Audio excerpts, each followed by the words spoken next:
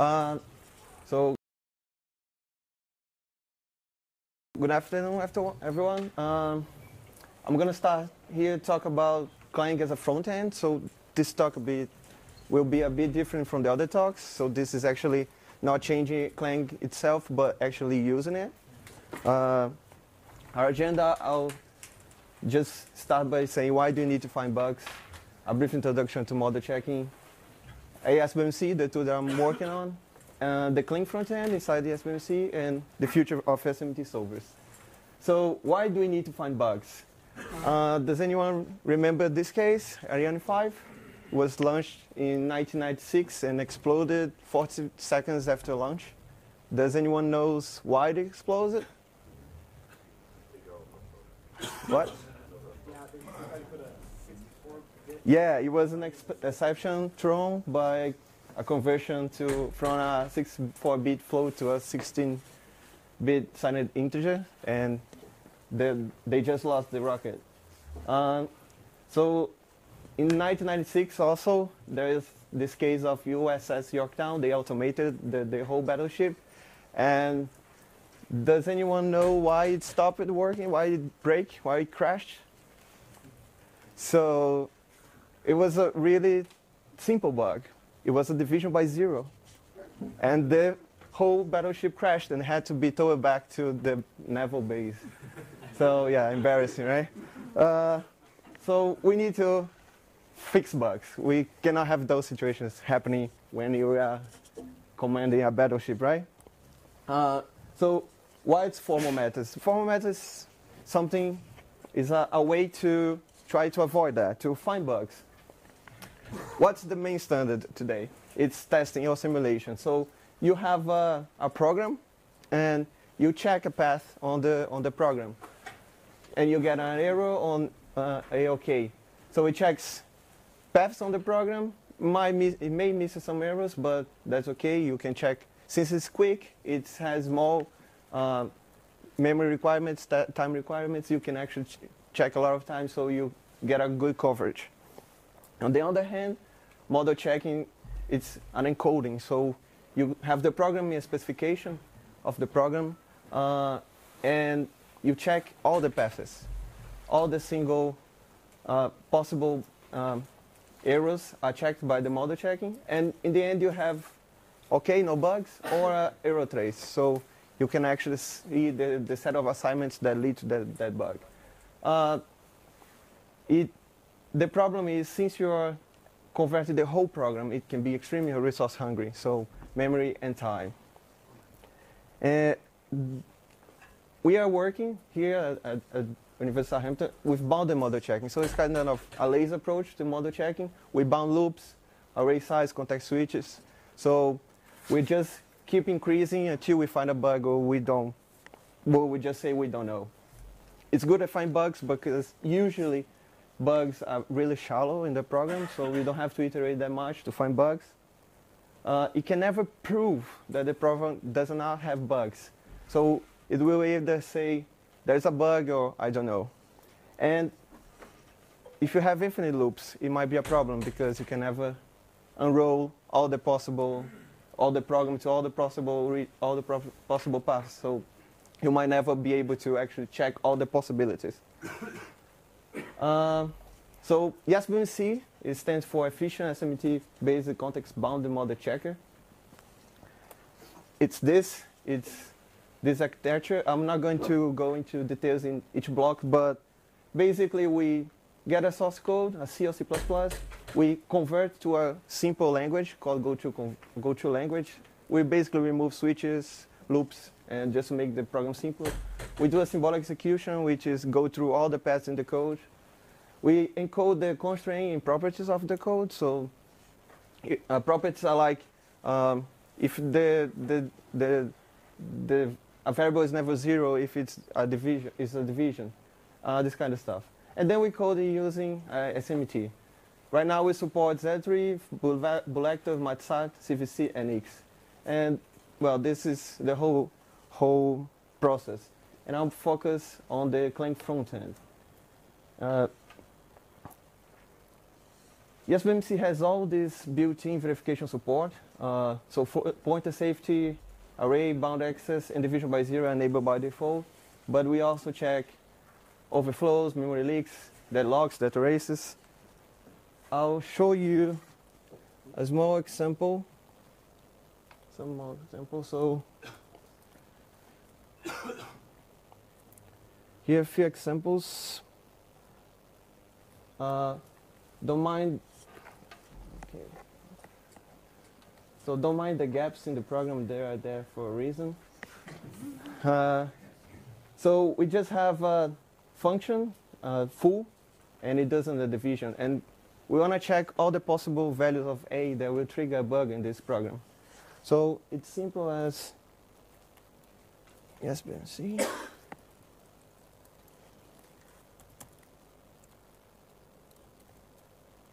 So it will find a set of assignments that will lead to a, a bug. You see these are big numbers there. So we can actually do something like, okay, my program will never have this kind of input. For instance, my program will only have A ranging from 0 to 100.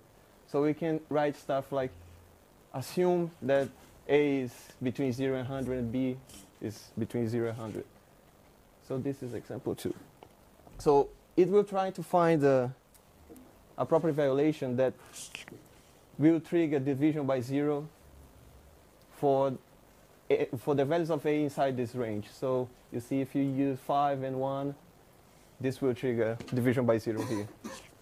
Uh, this is using Boolector, one of the solvers. You can actually check for using other solvers, so Z3, MathSAT.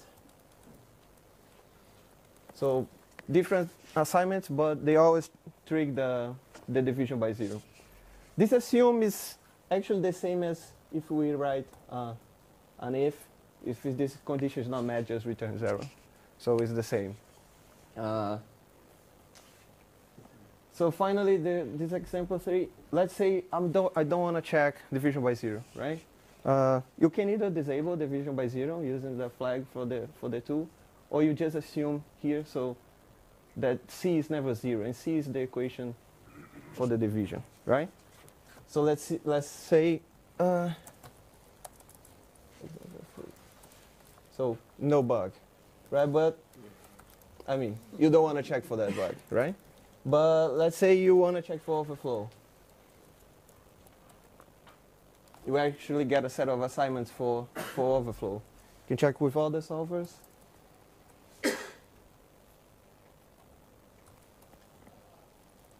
That side as well.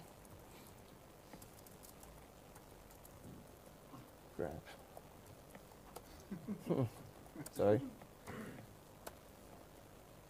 Right, so, yeah, so these are simple cases, but you can see they're really effective to find the, those bugs. We have actually the set of assignments that lead to that. So we, it's easier for the, for, the, for the developer to see how he can reproduce it.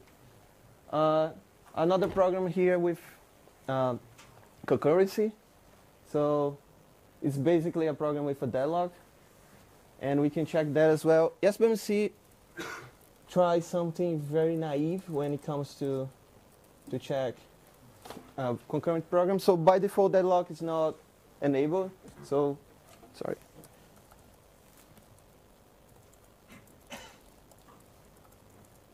So it checks by default if the, the malloc return a null pointer.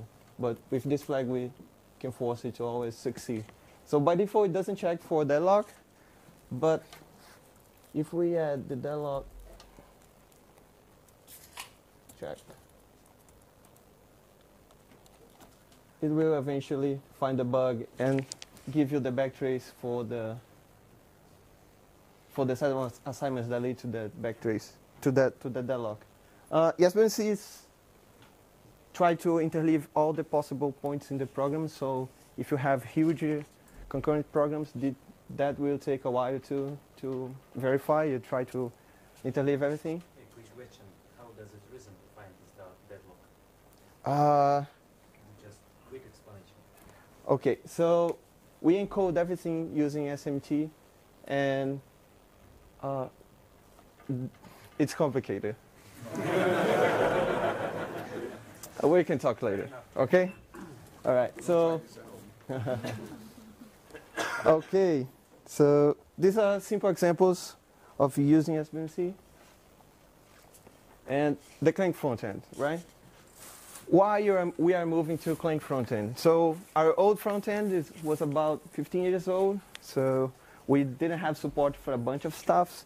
So for instance, compound compound literals, stuff like this. Uh, and well, I'm not a really good Bison developer, so I had no idea how to implement that.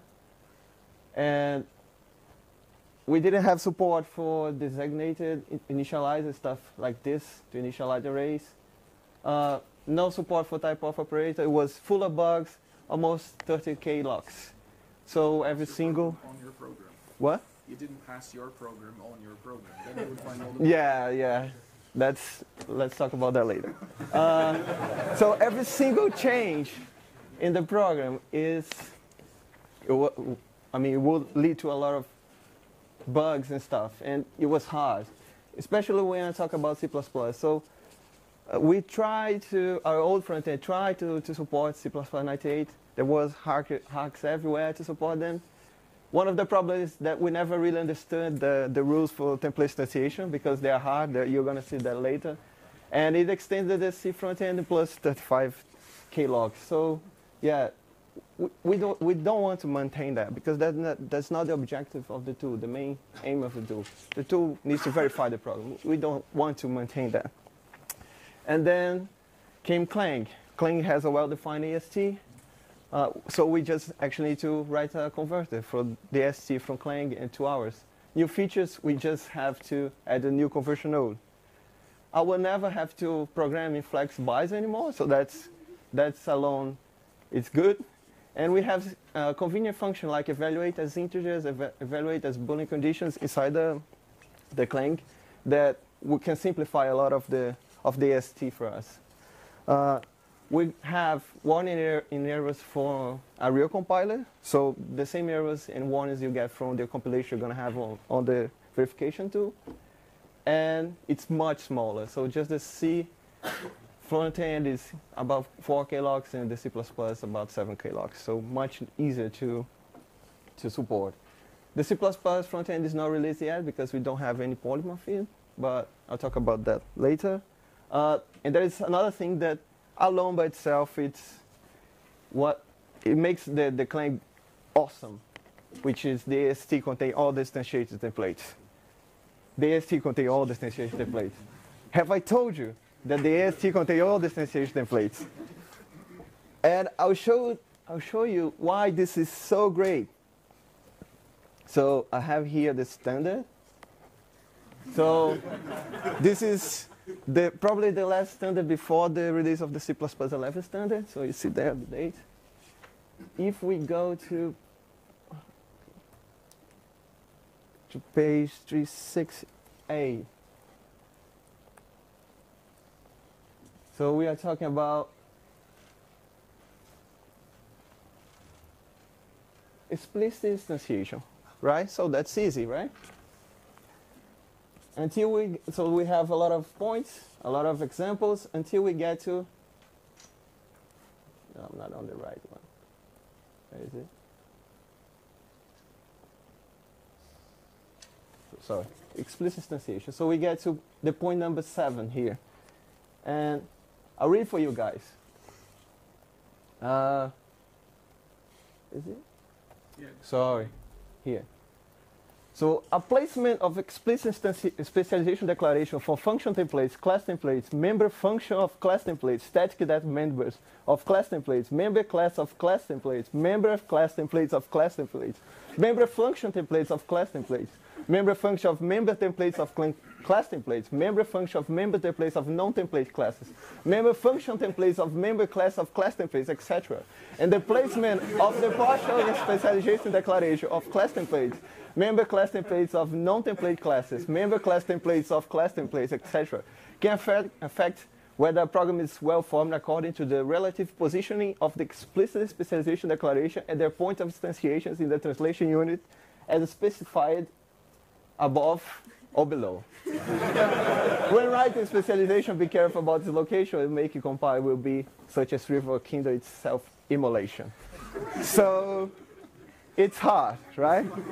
we don't have to deal with that anymore. Clever people done that for us on Clang, so we're just gonna use that. They also removed this bit from the C++ uh, 14 standard. Really? Oh, that's much better there. Uh, so why moving to Clang? Uh, we are using libtooling because by the time we had tried to use the libclang, there was some functionalities. I think it's much better now, but since we started with that, we are not moving back again. Uh, most of the code i to walk the AST is based on the, the coding stdumper, type printer, and the coding libcodegen. Uh, some limitations we found is C++, for instance, does not support implicit function declarations. So ESBMC assumed that I showed you guys we're not going to work by default. Um, I'm still trying to work out how to fix that. Some random crashes. For instance, if you try to get a line number from from translation unit in, in Clang 3.6, it crashed, and, but it fixed since then. Uh, Clang does not build the table for you, so at least not using the defined AST, so I'm going to have to write another converter for that. Uh, we have no access to the static analyzer. That would be excellent for us, since we're trying to verify the program, try to get some information about the, the reasoning of the, of the program. There are no optimizations at the AST level, which is oh, that's that's reasonable because all the optimizations are done at bytecode at LLVM, so we get small optimizations.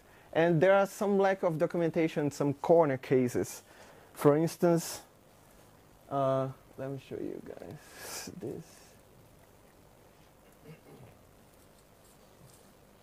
So that's a small example. We just have a class X and we do a, a copy constructor, right? We call a copy constructor.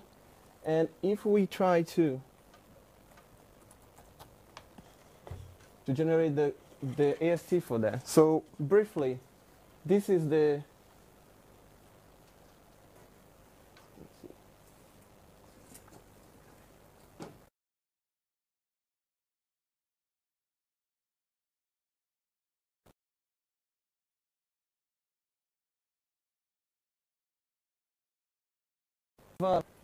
three uh, variables i0, i1, i2, of the member function, the member str. So basically what Clang is telling me here is that this is the copy constructor for this class. And I have no idea where this is coming from. And Clang does not tell me either. So, however, by the time you reach the code gen and when the bytecode is generated, just a uh, main, uh, main copy for the for that case in particular, but there is no no no documentation for that. We just try to pass the AST when we see that, and there is no explanation why that is is like that, right? I think there's just placeholders to generate yeah, the, IR exactly. match to an memcopy. Yeah, but the thing is, we are very careful when it comes to variables and if there is a variable without declaration, we don't like it. So we just don't know what to do. So is there any difference between the declaration of those variables and the declaration of any other variable that you have in the context? Because if there isn't, then those could be real variables, and then yeah. global variables, and mm -hmm. you have no idea if yes, exactly. a real thing or it's just a made up. Exactly. Well, we, we don't have any idea how to do that. Okay. Uh, so just a bit future about SMT solvers. So why we don't check our base, uh, our, our base code? Because SMT solvers are really resource hungry. We're talking about hund hundreds of gigabytes to, to formally verify our tool. And this is, well, SMT solvers are evolving, but they're still, they still need a long way to, to, to go.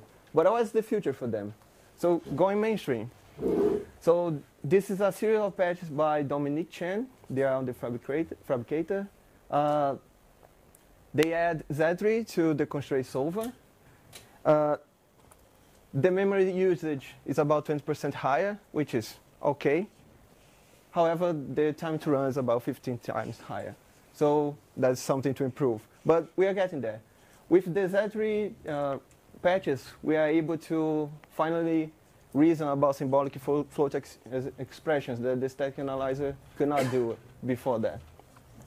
It's not accepted to mainstream yet, but it's being under active discussions in the, on the Phabricator. Uh, and that's it. SBMC is open source. It's closed development, however, for some reason, my, our developers are shy, I guess. And please check the code, and any reason, just send me a, any question, just send me an email later. Thank you.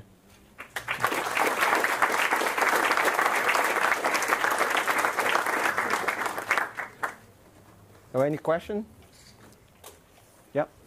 Um, you mentioned that uh, it doesn't do tables. Uh, are there any other uh, notable constraints about the kind of code that you can analyze? Uh, not really. Not really. Uh, repeat the question. Okay. Uh, so he asked if there's any other limitation other than vtable for the C++. Not really. We everything else it's it's it's there. We just have to to parse it. So Actually. even like uh, function pointers and things like that you can follow. Yeah. Yeah. I mean, not on the AST, but But wouldn't you have to track like all the things that could be theoretically loaded into that function pointer, which is also kind of analysis? Yes, this is done inside SBMC on, on a later step, not on the AST. So the AST is basically just to, to convert that to our internal representation. So we don't have to pass the program, do any, any kind of type check, Okay, cool. right? What language is SBMC implemented? So it's in C++. Uh, yeah, C++ 11 basically. So it wasn't We- a big deal to use C++ APIs from Clang. No, no. Uh, yeah, yeah, basically C++. We have some kind of, some Magpie developers.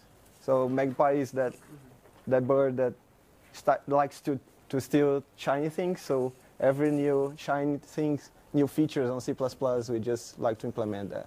So soon we're going to be moving to C++ 14.